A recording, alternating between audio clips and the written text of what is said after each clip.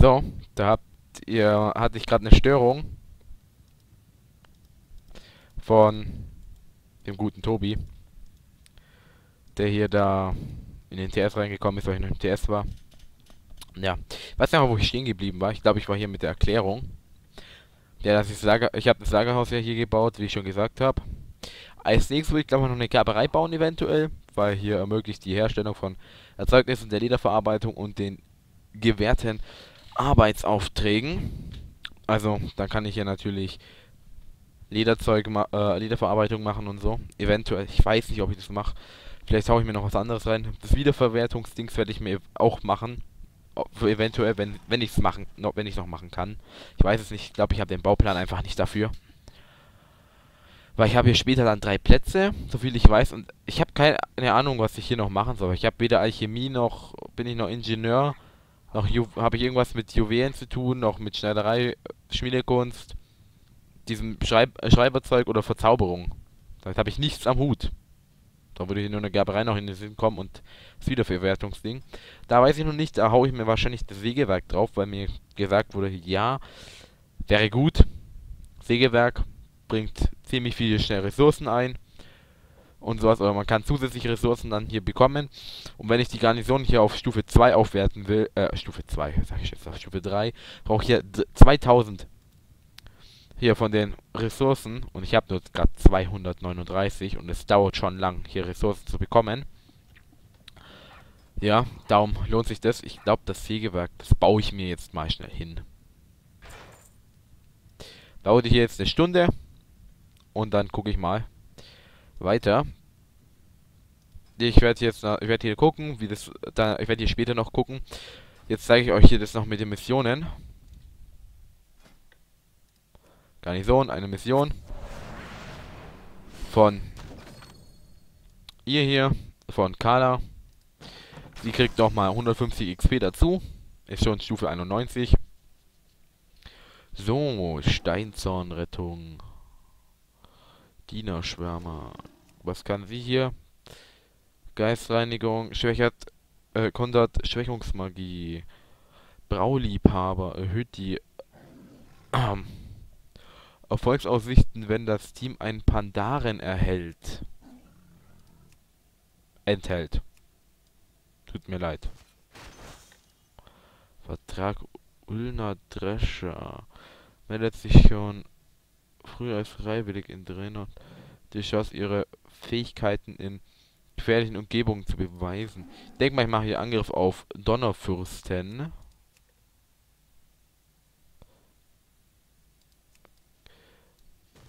Dann kommt sie hier rein.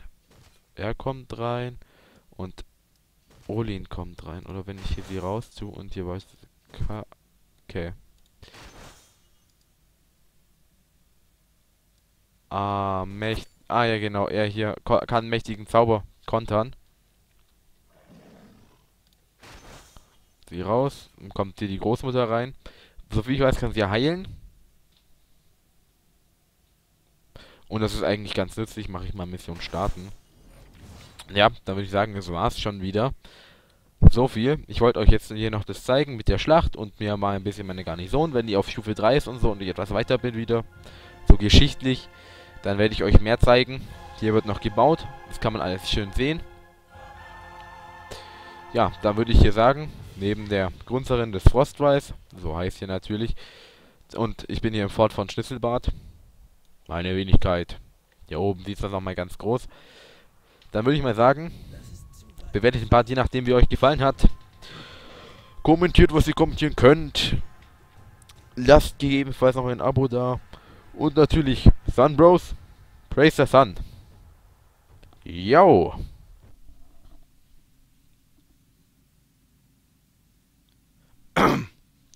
Jo. Und hallo und herzlich willkommen zurück zu Warlords of Draenor mit mir, eurem Garaschei. Nein, Spaß. Mit mir, eure Mr. 70. Mit der etwas äh, mehr garoschigen Stimme. habe ich gerade noch Tom Utgarde gemacht bei Rod of the Lich King. Oh, oh nein, nicht Lich, Lich, Lich King. Um, um, um. Okay, das war gerade richtig scheiße. Ihr habt gesehen, ich habe seitdem, als ich aus dem Frostfeuer gerade rausgegangen bin, nichts mehr aufgenommen. Es kam so vieles. Denn ich bin jetzt ähm, hier aufgabenmäßig in Nagrand, habe hier das fertig alles, bis auf Schattenmontal, aber da kann ich jetzt nichts mehr machen. Da kann ich so viel, ich weiß, nichts machen. Außer hier ist erkunden. Was ich aber jetzt nicht brauche. Aber wir schauen jetzt mal in meine Garnison. Ich habe hier lauter Garnisonberichte. Da kann ich auch zeigen, was ich noch für Scheiße noch, äh, für tolle Sachen gebaut habe. Und so. Ja, es gibt alles.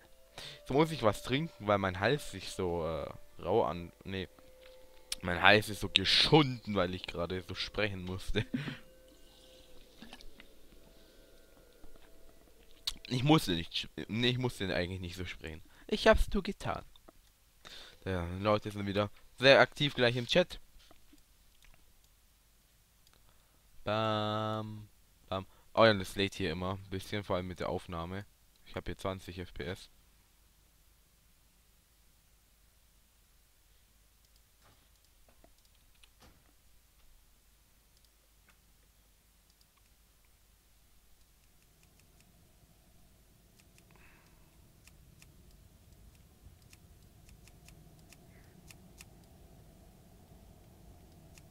Ich glaube, das könnte ich jetzt so mal ein bisschen lauter machen. Hm, stellen wir auf 75.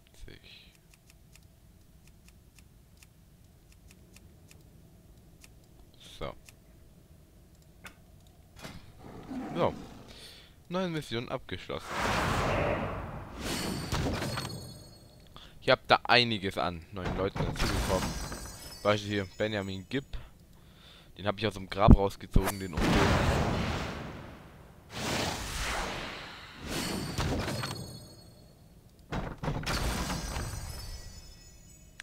Den muss ich ja ein bisschen nachleveln, weil die war auf, auf so eine 10-Stunden-Mission. Und währenddessen sind ungefähr, glaube ich mal, die ganzen anderen hier ungefähr drei Level-Ups gegangen und sowas.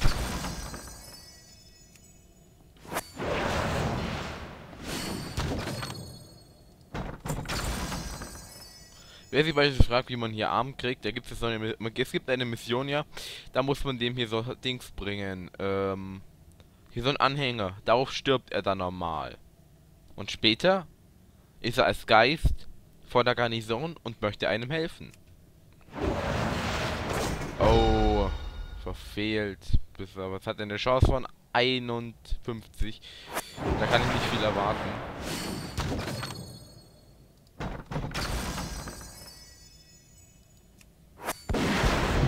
Auf viele Missionen. Auf viele Missionen. Cool. Das freut doch.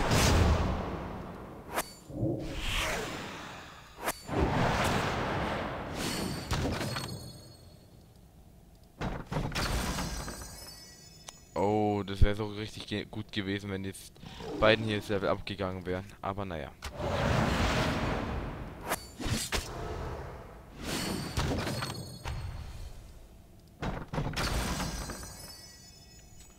Also der Schattenjäger Rala, das ist einer meiner Favoriten, genauso wie Morcat. Ich mag die beiden eigentlich.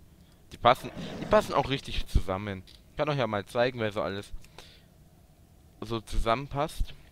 Und zwar, beispielsweise, ich tue eigentlich am liebsten immer so als Mix hier ähm, Schattenjäger Rala, entweder mit Morcat oder mit Mulverick. Also er und Mulverick, ich denke mal, die sind so würde würde ich so sagen, so, die würden sich kennen, dann würde ich wahrscheinlich wirklich so sagen, die wären die Big Bros von den Big Bros hier eigentlich, weil die sind immer auf einer Mission.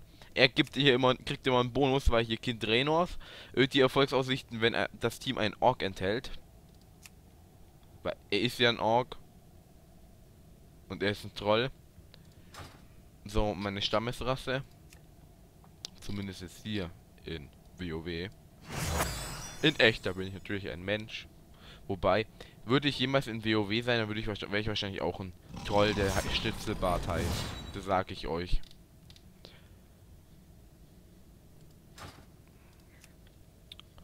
Hm, ne.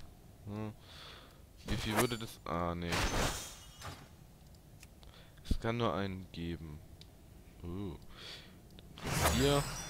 Ich weiß gar nicht was bringt dieses EP. Verleiht dem Charakter eine große Menge EP. Wow. Es ist keine Anzahl an EP dran. Es steht einfach nur EP dran.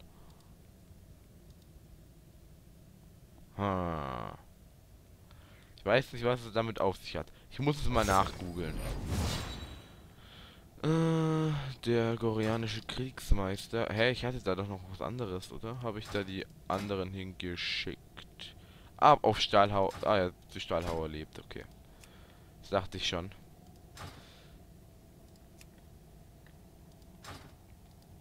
Alles, was glänzt. Oh, da könnte ich... Was hat er? Ach, Gefahrenzone, okay.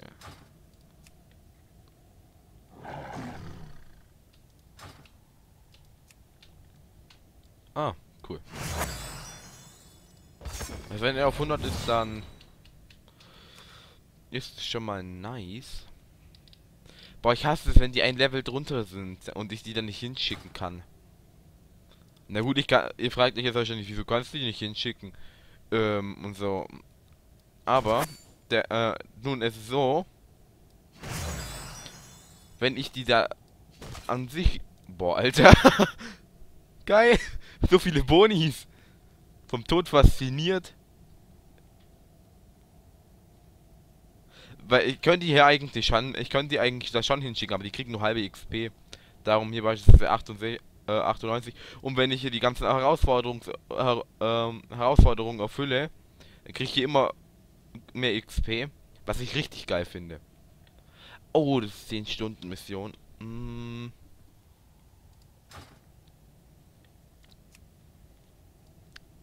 Okay, ich glaube, die schicke ich. Ja, die schicke ich jetzt dahin.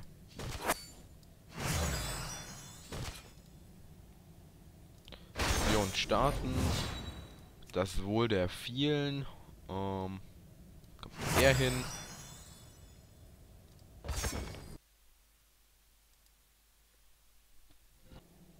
So, da bin ich jetzt wieder.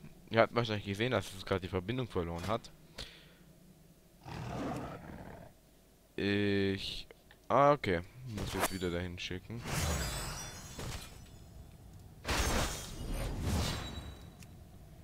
Gierige Oger. Was es gerade sollte. Ich habe keine Ahnung. Ich glaube bloß so Beat im Ko also eingefallen. Schicken wir mal sie auf die Mission. Zu 51%, aber der ist diese 50-50 Chance. Also da habe ich jetzt wenigstens die ganzen Missionen im Gange. Dauert ungefähr äh, so ungefähr zwei Stunden. Das wäre dann um wir haben halb elf wäre das dann der Großteil auf jeden Fall fertig. Ähm, was habe ich denn hier für eine Quest? Ach, von der da. Die will hier meiner Garnison beitreten, ist aber auf Level 91 und ich weiß nicht, ob ich jemand auf Level 91 noch in meiner Garnison irgendwie äh, haben möchte. Ich, zudem, ich habe nur noch ungefähr vier Plätze für Anhänger eigentlich frei. Ich habe aber gesehen, man kann mehr, auf jeden Fall mehr haben. Zwar, man kann, weil es gibt einen Erfolg für 25 Anhänger, die man rekrutiert hat, aber ich glaube, man kann nur 20 davon nutzen insgesamt. Vielleicht kann man die auch abwechseln, ich habe keine Ahnung. Mal gucken. Ich tue mal die ganze Bestellung. Ich habe hier das Sägewerk, das habe ich glaube ich schon mal gezeigt, oder? Ich weiß es nicht. Hier ist auch der ähm, Alexi Barov zuständig.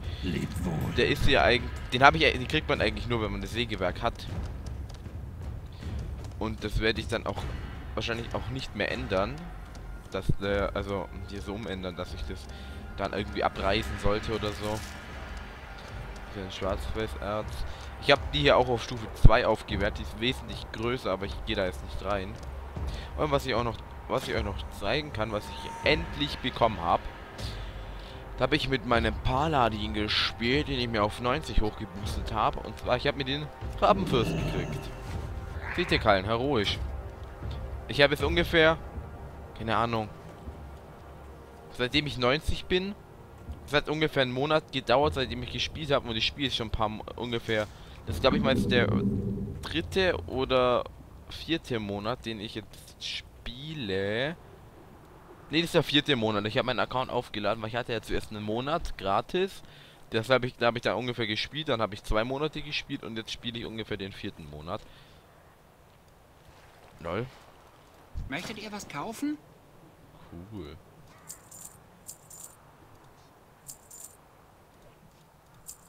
Die kenne ich ja noch gar nicht. also ich bin nicht so oft in der Garnison. Alles klärchen. Wenn dann nur, um hier meine Sachen zu gucken. Aber ich muss sagen, den Rabenfürst, den mag ich. Doch wollte ich ihn auch unbedingt haben. Den kriegt man, wenn man hier anzu in, äh Okay. Hier in, ich, ich will nicht nach Nageran. Äh, in den Wäldern von Teroka macht. Hier bei, auch in Dun. Was es hier auch in Draenor gibt, bei Talador. Hier auch in Dun. Da steht jetzt noch das Schadrad. Und das Schadrad auch nicht so eine Ruine. Und da gibt es die Seetierkallen und da ist Anzu drinnen. Nicht mehr so als großer Schreckensrabe. Nein, er ist dann nur noch so als. Seid gegrüßt. Ähm, also kleiner Rabenfürst drinnen. So als Big Boss Rabenfürst, weil er ist ja hier so der oberste Bro von denen und so. Die meisten Leute sagen wahrscheinlich das nicht gar nicht so, was ich hier gerade laber. Hier so mit Big Bro und so. Vielleicht ist es auch schon wieder aus dem Trend raus. So zu reden. Aber ich mag es irgendwie so zu reden, also. Bleib ich Willkommen. dabei. Schön, dass ich helfen konnte. Aber ich muss sagen, ich mag hier meinen Bernskorpion auch richtig. Das sind immer so die ganzen Sachen. Grüße. Flüchtling Lonasch. Okay. Dann gehen wir mal nach Nagrand, Mögen nach Vorfahren Worwa in Nagrand. Oh ja, was ich wahrscheinlich sagen werde, aber was ihr wahrscheinlich auch noch sehen werdet. Und so, oh ja, und doch zudem, ich kann heute nichts hochladen, weil ich die ganzen, ungefähr den ganzen Tag verpennt habe. Also macht ja nichts. Da kommt halt morgen eine Folge Warlords of Draenor. Und am äh, Samstag auch. Kommen zwei Folgen Warlords of Draenor. Freut euch schon mal darauf. Weil ich will ja ungefähr diesen Upload-Rhythmus hier ein bisschen beibehalten. Und also... Oh ja, was ich auch noch sagen möchte, was ich ganz vergessen habe zu sagen in meiner Garnison. Ich habe hier die Wiederverwertung gebaut. Das ist mein Lagerhaus, Stufe 2, die habe ich gebaut. Kriege ich immer solche kleinen ähm, Ranzen oder solche Beutel mit solchen Waren. Habt ihr wahrscheinlich gerade gesehen, wo ich so eine Kugel rausgekriegt habe, die 6 Gold wert ist. Und ja. Finde find ich echt Finde ich recht gut. Ich habe ja auch die Angelhütte und so. Den Kräutergarten, den habe ich auf Level 2. Und so das Ganze. Tut mir leid, dass ich das euch jetzt nicht so gezeigt habe, aber Und wer seid ihr? ich bin ein Chef. Laufen die alle mit diesen Kernhunden rum. Ich will den auch haben. Okay, ich habe hier meine Quest. Hier ist Thrall. Mokra, Hier ist Agra.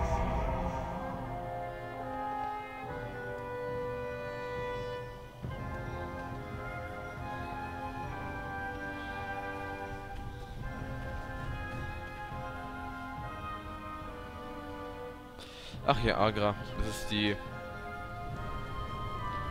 Ja, ich würde mal sagen, so die Frau von Thrall. geht mit Ehre.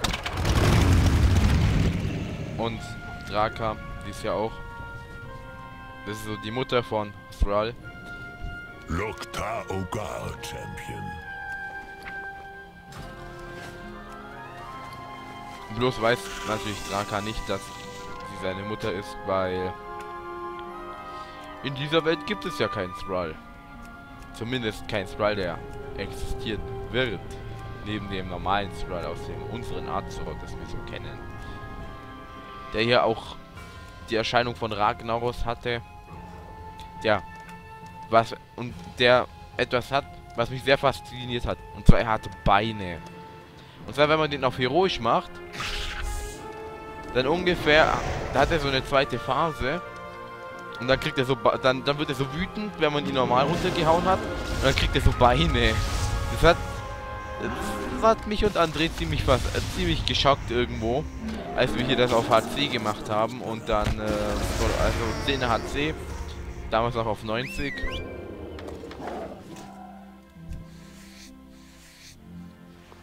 Diese Stelle werde ich vielleicht rausschneiden, ich weiß es noch nicht. Damit ihr das wisst. Wenn ich rausschneide, dann ähm, werdet ihr wahrscheinlich wissen, von welcher Stelle ich rede.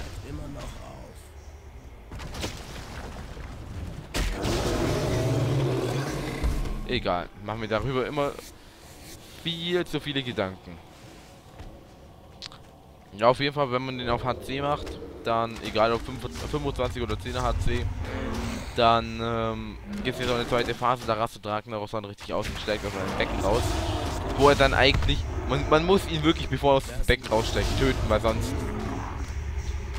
killt er einen Instant. Und dann kann man wieder den ganzen Scheiß von vorne anfangen. Wieso ist Pfarrer auf passiv, Alter?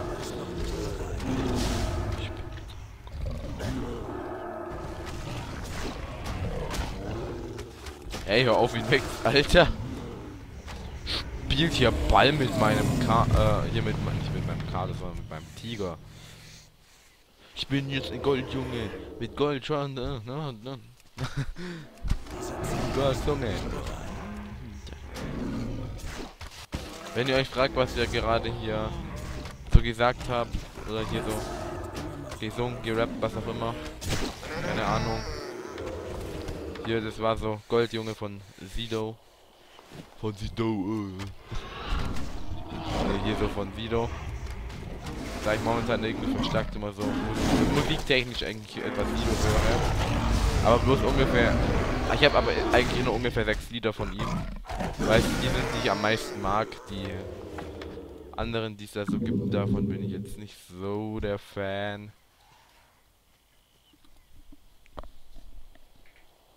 Denn es kann einem ja nicht alles gefallen. Außer man hört Santiano, wie ich, ähm, dann, ge dann gefallen da einem so gut wie fast alle Lieder.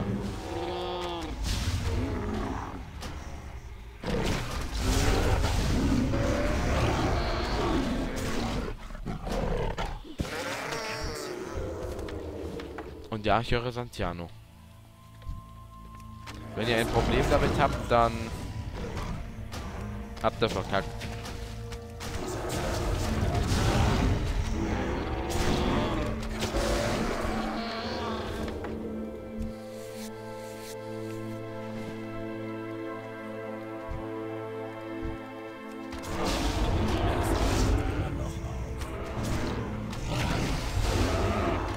Da, da.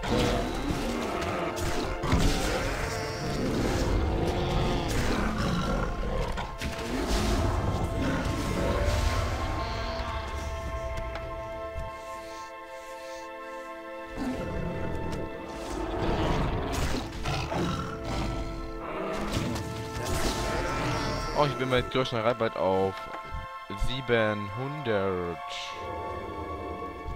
Ist wahrscheinlich wieder ein Erfolg. Das heißt wahrscheinlich hier Trainermeister oder so.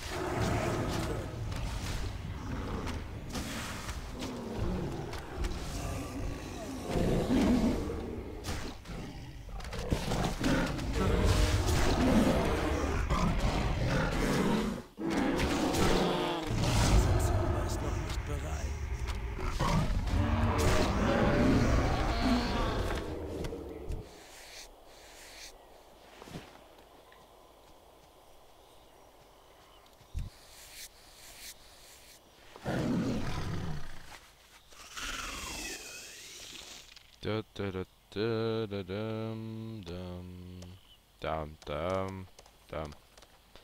Weiß gerade auch nicht, was ich da... So, oder warum ich das gerade gemacht habe.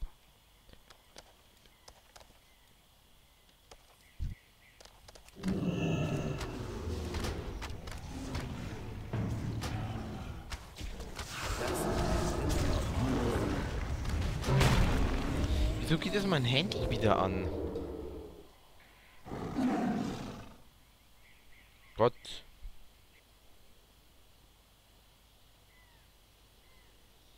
Moment, ich muss schnell mal WhatsApp schreiben.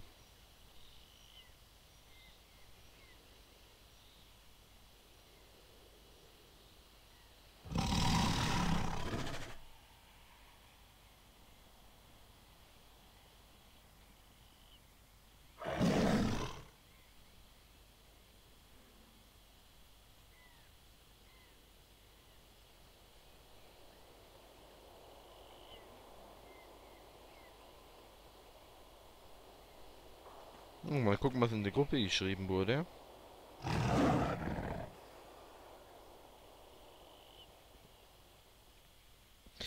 Denn wir haben da so eine Diskussion äh, mit, ob man eine, äh, so war hier, äh, da hat jemand so ähm, Pokémon reingepostet, habe ich geschrieben, so i Pokémon. Ich mag, ich mag kein Pokémon, ich habe das auch früher nie gespielt. Und dann hier so, äh, man kann keine gute Kindheit gehabt haben, wenn man kein Pokémon gespielt hat. Wow, ich habe kein Pokémon gespielt. Ich finde Pokémon eigentlich scheiße. Aber, naja. Kann auch eine gute Kindheit gehabt, gehabt haben, ohne Pokémon gespielt haben.